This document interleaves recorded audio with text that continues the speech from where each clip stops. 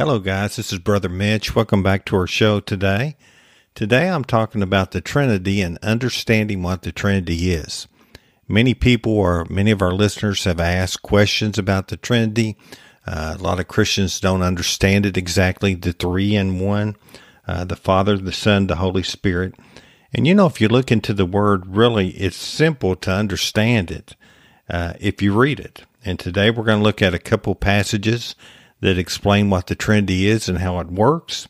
So if you have your Bibles, you can grab those. We're going to be in Genesis and we're going to be in the book of John today. And I think you're really going to be blessed by today's program. We're going to take a moment just to give you a little bit of information about our program, and then we'll be right back with today's Bible lesson. Welcome to the Mitch Carmack Podcast. Learn to walk in health, protection, and divine favor. Learn lessons to increase your faith. Now, let's welcome our Bible teacher and host, Brother Mitch. We're very glad that you joined us for today's episode. At the end of the podcast today, find out how you can send us your prayer requests and any comments. Also, we will provide you with information on how to contact us. Now, let's begin today's Bible lesson. Well, if you have your Bibles today, turn with me to Genesis chapter 1. And let's start today in verse 26. Genesis chapter 1, verse 26. Again, today we're talking about the Trinity. And before we jump into this uh, passage of Scripture, I just wanted to say that I hope you all had a nice Easter this week and uh, got to spend some time together with your family.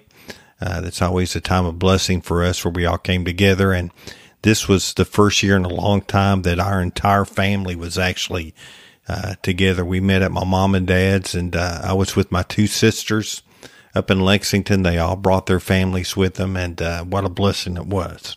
So that's the resurrection. Now we're moving forward into the spring and the summer. Uh, the weather's getting nicer here in Kentucky, and uh, it's an exciting time. Okay, if you have your Bibles, look in Genesis chapter 1, verse 26. Many people have asked about the Trinity. A lot of Christians don't understand the, the Trinity. You know, a lot of them ask me, they say, Mitch, how can three different elements be one? Do we worship three different gods? Well, we worship one God, but the, there's different elements there's different, the Father, we have the Father, we have the Son, and we have the Holy Spirit. And a lot of people don't understand it. So we're going to try to get some uh, understanding from what the word says today in Genesis chapter 1, verse 26. Now, this is the very beginning of the Bible, written by Moses. And look at, look at verse 26. God said, I find this really interesting. Mark this in your Bible. God said, Let us make man in our image. Now, you notice here, God did not say, let me make man in my image. He said, us and our. So we clearly see here that the Father and the Son and the Holy Spirit existed together from the beginning of time. Before the earth was ever created, there was the Father, Son, and Holy Spirit. They've always existed. They've always existed. And let them have dominion over the fish of the sea, over the fowl of the earth, over the cattle, over all the earth, and over every creeping thing that creepeth upon the earth. And look at this, verse 27 God created man in his own image. In the image of God created he him, male and female created he them. God made and created us in his very image. Nothing else in creation is like that. Not even angels are created in the image of God, but we are. What a blessing that is. So Jesus and the Holy Spirit was with God at the very beginning. They not only created the earth, but they actually created man together. Now, if you take your Bibles and flip over to John, I want to show you in the New Testament how Jesus existed in the beginning and he helped create the earth. A lot of people think that, you know, Jesus came on the scene when he was born of a Virgin Mary. But we find that Jesus existed before the creation of the world.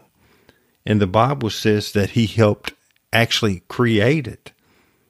and with the help of the Holy Spirit as well. He created man. Now look in John chapter 1, verse 1. The Bible says that in the beginning was the Word, the Word was with God, and the Word was God.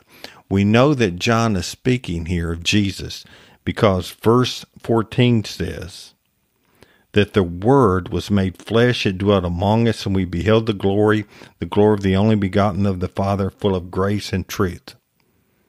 In the beginning was Jesus, and Jesus was with God, and Jesus was God. Jesus is actually God in the flesh. When he came to this earth, he had to take the form of a man so that he could be born into the earth to save us from our sins. Look at verse 2. The same was in the beginning with God. Jesus was there. And here's the verse I want you to see, verse 3. All things were made by him. And without him was not anything that was made. Jesus helped, or actually was in charge of creating the earth. And then look at verse 10. He was in the world. The world was made by him. It was created by him, but the world knew him not. Jesus was with God. The, the Bible says that he was God and Jesus is God in the flesh. Don't let anybody tell you that Jesus was just a man, that Jesus was just a good teacher. Jesus is God. Jesus is God in the flesh. And he was with God from the very beginning. Now, I want to explain this is the best way, and this is the way that I, I was taught when I was young, and I think it's the best understanding of what the Trinity is, is to compare the Trinity to that of a cherry pie. Now, if you think about it, a cherry pie, which is my favorite pie, has three ingredients it has a shell or a crust, it has filling, and it has cherries. There's three different parts of that pie, but yet it's one pie. So it is with the Trinity. There's three different parts, but it's one. And it's the very same with Stephanie, my wife, and I. You know, when we got married and we came together, the Bible says in Genesis that we became one flesh. There's two of us, but we're one. Well, Jesus is just as much God as the Father's God. The same is true with the Holy Spirit. And you know, a lot of churches don't talk a whole lot about the Holy Spirit, but the Spirit of God is what lives on the inside of us. And it's just as important as the Father and just as important as Jesus. And we need to do more teaching on the Holy Spirit. Maybe we should. And with this podcast, we'll do that. But God is a three part being He's the Father, the Son, and the Holy Spirit. So I hope today that gives you just a little bit better understanding of uh, how Jesus actually helped create the earth, uh, how the Spirit lives within us, and all these three beings make up as one. I want to take time today before we close just to say a prayer for you today. Uh, I want to thank you guys for listening today. And here's, I, I wanted to do this before we close today.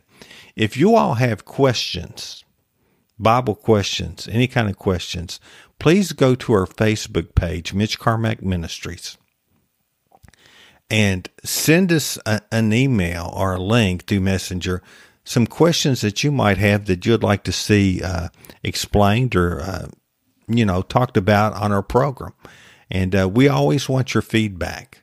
So if you have any questions if you have any topics that you want to talk about uh, hear about hit us up on our website mitchcarmack.org and we'll be glad uh, to do that for you Again, we love you. We thank you for listening today. Uh, we're really grateful for all the people up in Michigan and Ohio that are listening uh, every single week. Uh, we have listeners in California, uh, Texas, uh, all over the, of course, a lot of listeners in Kentucky, but all over the world now are listening to our podcast, and God is blessing this program. So please pray for us. We're praying for you every single day, and uh, I want to take time today to pray for you. Father, I thank you for those listening today, and I just pray, Father, divine favor, divine health, and divine prosperity upon their family today. Bless them, Lord. Show your presence to them, and we give you thanks for Jesus today. In Jesus' name, amen. Again, thank you for listening. This is Brother Mitch reminding you that God keeps his promises, and his promises are true. God bless you. We hope you enjoyed today's program. Please take the time to subscribe to our show. Feel free to share our podcast on social media and on Facebook. At our Facebook page at our website, mitchcarmack.org. There you can click on the Contact tab and share your prayer requests and comments.